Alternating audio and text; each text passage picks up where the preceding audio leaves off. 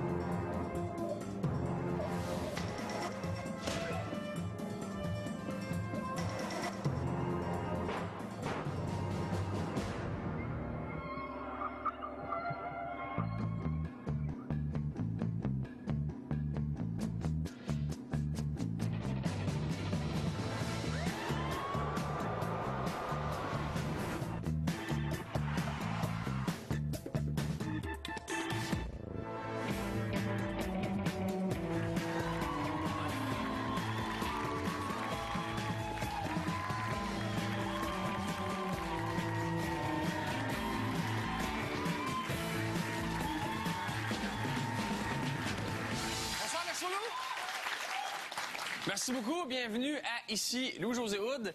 Un divertissement pour toute la famille, même l'ami de la famille, que, entre vous et moi, personne n'aime vraiment. C'est un, cliché, mais c'est un peu vrai. Les, les comédiens sont souvent serveurs avant d'obtenir un rôle, et les comédiennes sont souvent serveuses avant de séduire un producteur. C'est une blague.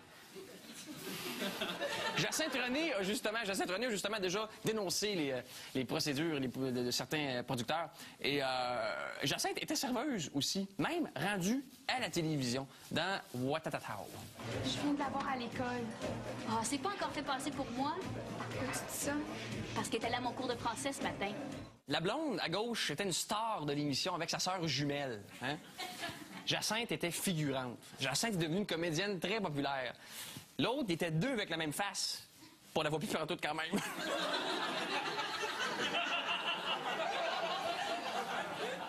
Autre serveuse à succès, Macha Grenon. Oh, le bon goût me manque trop. On va chez Saint-Hubert. Merde! Move Robert. Ah, Saint-Hubert. Toujours aussi fou du bon goût, Monsieur Rooster. Oh yeah, c'est le meilleur poulet au monde, hein, comme j'ai passé dans le coin. 1989. C'est drôle parce que moi, je me souvenais de cette pub-là. Je me souvenais du, du monsieur Texan avec le chapeau, mais je me souvenais pas de Macha Grenon. Quelle sorte de valeur que j'avais! Euh, c'est délicat les débuts de carrière, hein, parce qu'on accepte à peu près n'importe quoi. Puis euh, bon, à un moment donné, évidemment, si on devient connu, ben ça, ça, ça nous suit. On regarde euh, Bruno Pelletier en 1991 dans une publicité des gâteaux Vachon.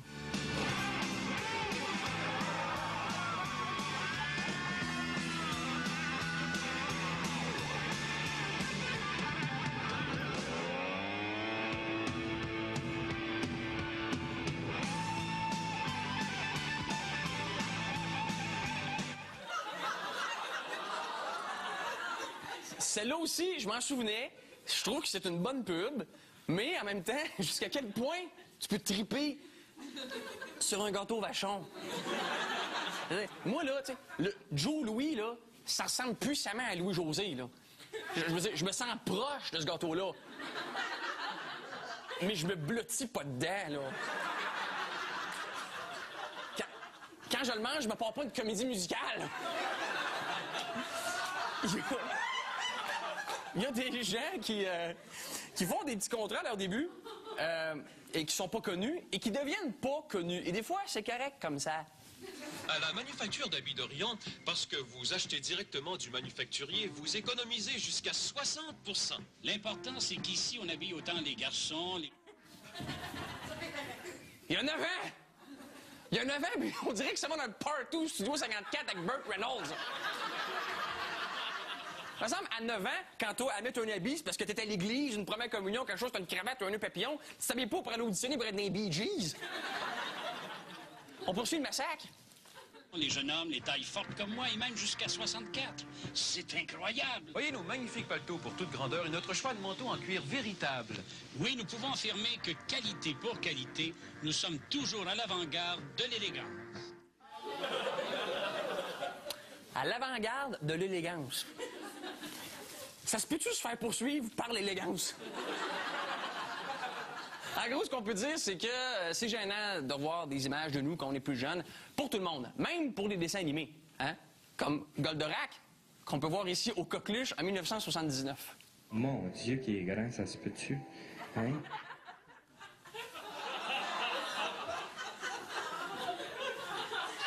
Il a l'air d'une pinata entamée.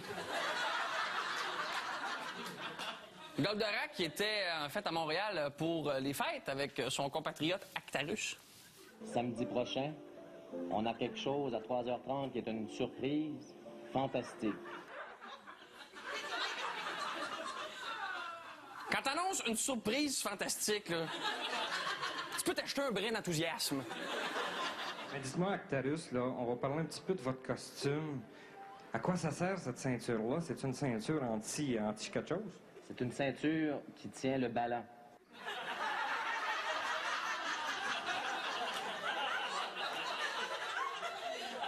C'est un super-héros intergalactique. Et pour garder le ballon, il a besoin d'une ceinture. Parce que je conduis le vaisseau de Goldorak. Et lui, il est juste accroché avec des petits crochets interplanétaires. Des crochets interplanétaires. Je t'ai-tu parlé de mes bearings multicosmiques? Goldorak, c'est un personnage pacifique.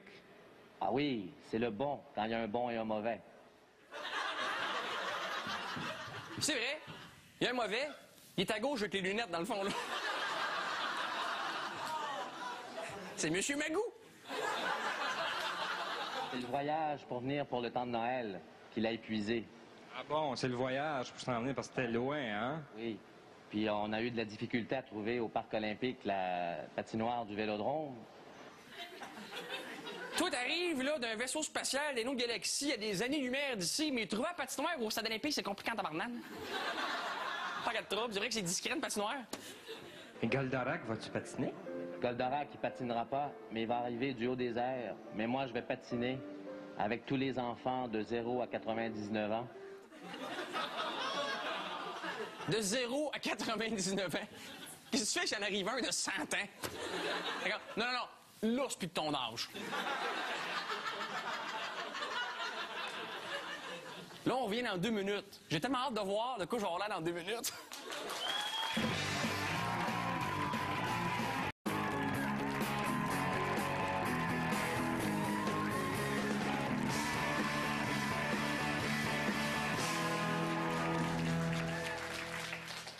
Excusez, j'ai mon toupette. Euh, on va parler, on va parler de, de quiz.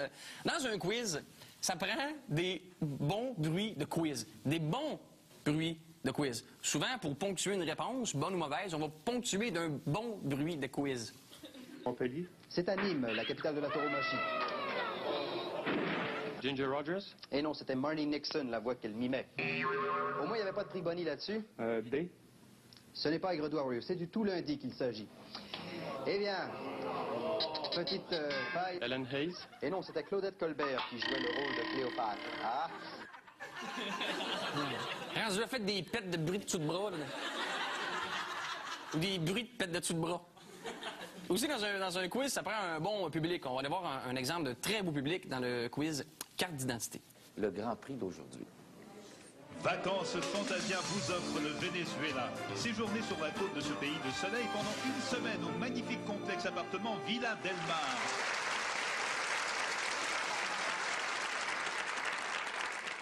Il y a à peu près 14 bandes libres. Les trois gars en arrière, là. Les ancêtres des têtes à claques, là. Ils sont un peu focusés sur le couple, juste un peu plus bas, s'il vous plaît. Et c'est mal. Elle a le même sourcil que lui, la moustache.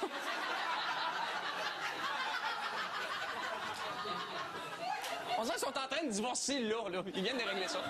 OK, c'est correct. On connaît tous le quiz, tous pour un. On va aller voir une des, des premières versions qui date de 1967. Ça a l'air beaucoup plus scientifique, beaucoup plus compliqué, mais l'est-ce vraiment? Nous savons tous que la moufette émet un liquide particulier. Ce liquide nauséabond écarte d'elle tous les animaux, fût-ce le loup ou le grizzly. Et ce liquide, qui aveugle temporairement, est vaporisé au moyen de deux glandes anales de la grosseur d'un pois. Connaissez-vous soit le nom ou la formule chimique du liquide qui sert de défense à la moufette rayée? C'est de la pisse. C'est de la pépisse. Parlant d'écœuranterie, on va aller euh, voir des extraits du quiz euh, Le Grand Circuit, animé par Serge Laprade en 1983. Euh, on commence avec la chanson. Quand il tourne la roue, il y a une chanson chantée par le public. On écoute. Elle tourne tout, la roulette du grand circuit. Elle tourne, tourne, tourne. Ah. Quel spectaculaire manque de plaisir. Dans un des matchs, à un moment donné, les deux concurrentes s'appellent Chantal. Et là, mon Dieu, comment fait-on pour se démêler dans ce temps-là? Chantal numéro 1, maintenant le jeu commence. C'est parti, les consonnes dans l'ordre, s'il vous plaît. B. Il n'y a pas de B, Chantal 2. K. Oui, il y a un K en 5, et là c'est toujours Chantal 2. Tu sais, Serge, il y a des noms de famille pour ces occasions-là. En plus, ça aurait été moins long de dire. Il aurait pu juste les appeler Chantal Toupette ou euh, Chantal fucking blasé en bleu. Ou Chantal qui fit un peu avec le décor. Ou Chantal qui fit un peu avec la partie rayée du décor couchée sur le dos d'une bosse. On va aller voir euh, un montage de l'impatience de l'animateur. On se questionne sur son impatience ici. Elle.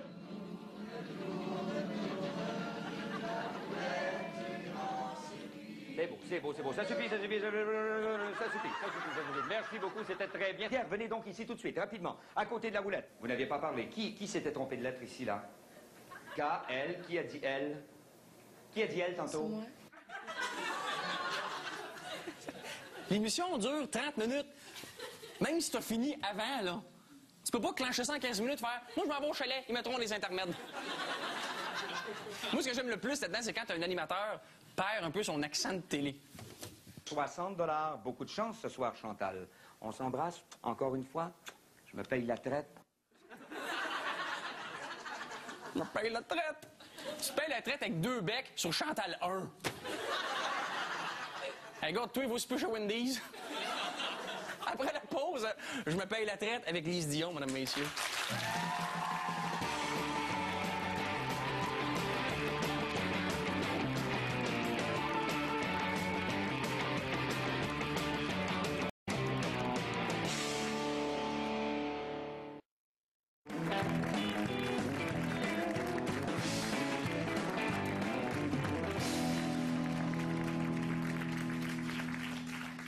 Alors, euh, voici notre invité de ce soir.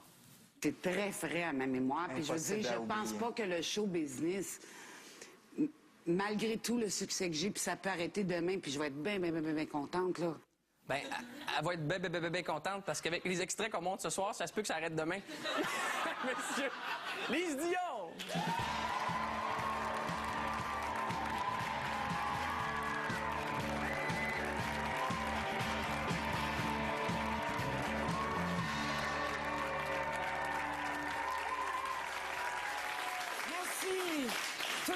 Le monde ensemble. Elle tourne, tourne, tourne.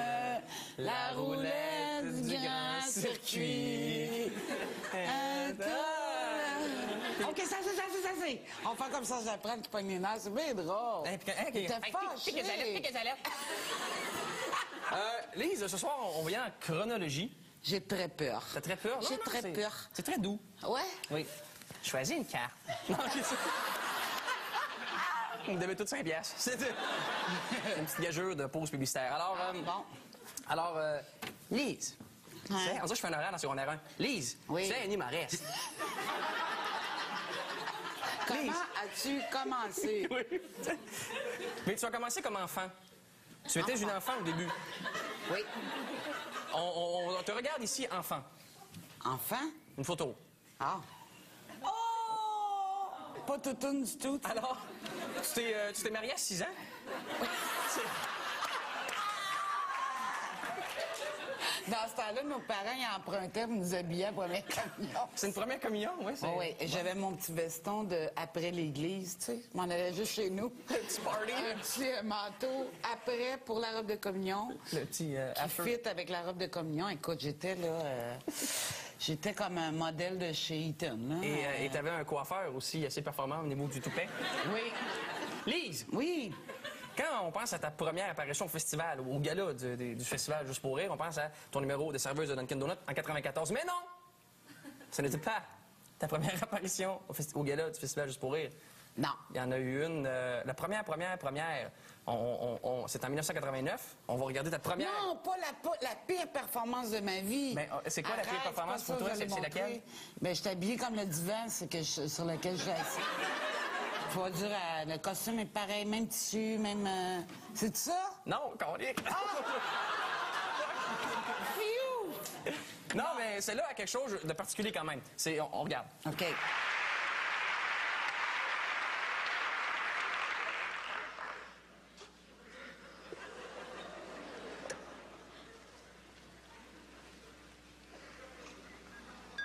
Oh! Hey, ça marchait-tu bien, ma gomme, hein? C'était- c'était- C'était-tu voulu? Ben oui, franchement. Bon. C'est une blague. Ah, OK.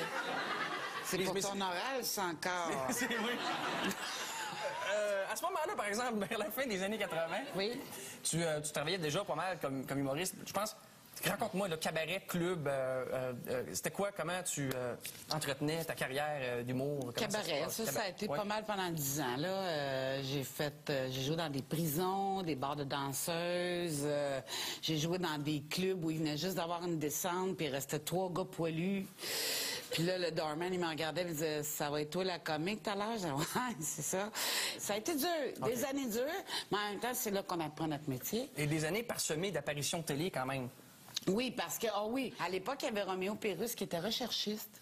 Des démons. Oui, monsieur. Tu savais pas ça, hein? Non.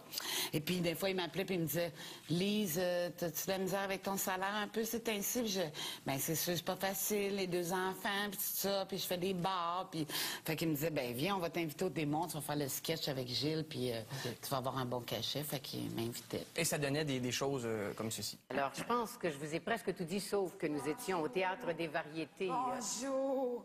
Prendriez-vous un petit beigne avec un café? Hein? Ah, que c'est ça me gentil. ferait du bien. Est-ce que c'est des beignes Slim Fast, ça? Euh, oui, ils sont en plastique. Oui, en plastique.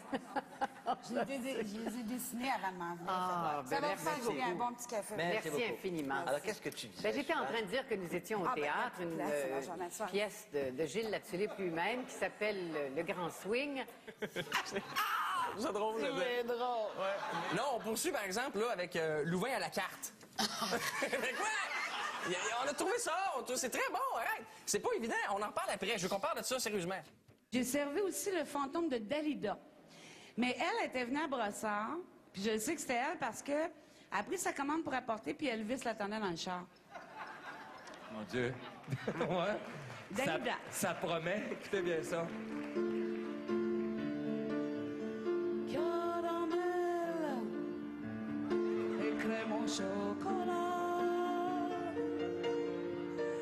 Les madames qui étaient dans la salle, ils se foutaient un peu de moi parce qu'ils étaient tout en amour avec Michel Louvain. OK, ben c'est là-dessus que que là, des fois, je faisais mon numéro, ils me disaient Oh, regarde, Michel, ça va changer, mais écoutez plus pas en tout. sais, je faisais mon monologue en avant, puis disaient Ah, il est parti changer en arrière, il attendait qu'il revienne, mais il m'écoutait pas. Ben c'est ça en fait. Moi, je- Moi, je me désormais en avant. Mais... Mais ça devait être vraiment euh, tough, là, parce que l'humour, on veut pas. Je prends des- des prestations dans des émissions de variété. Je sais pas si je rêve, mais il me semble qu'on en voit à peu près plus. Je parle d'arriver à faire un numéro là, dans, dans- dans un talk show dans une- de- comme ça devant un public. Ça devait être assez difficile. c'est- Ben, c'est grâce à nous, les vieux, que maintenant vous en faites plus, parce qu'on a dit, je pense que ça va être bien beau. Là, les numéros d'humour à télé, là, parce qu'on les d'achat, on les a toutes faites pas mal, ça va être bien. Ça, est-ce que tu faisais ça régulièrement, Louvain à la carte, puis les démons du midi, t'as Ben dit oui. Ouais, ouais. Ben oui. Merci d'avoir fait ça pour nous, parce que... C'est merci d'avoir dit non après. Oui, hein? aussi. OK. OK. Respecte ton autre génération.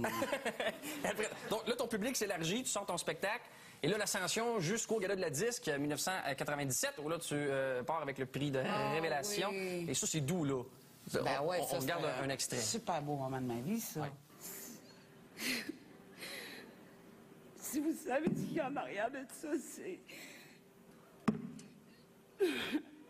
Bon, je vais remercier mes enfants d'abord, mon chum, qui m'a enduré ce matin avec un mauvais caractère.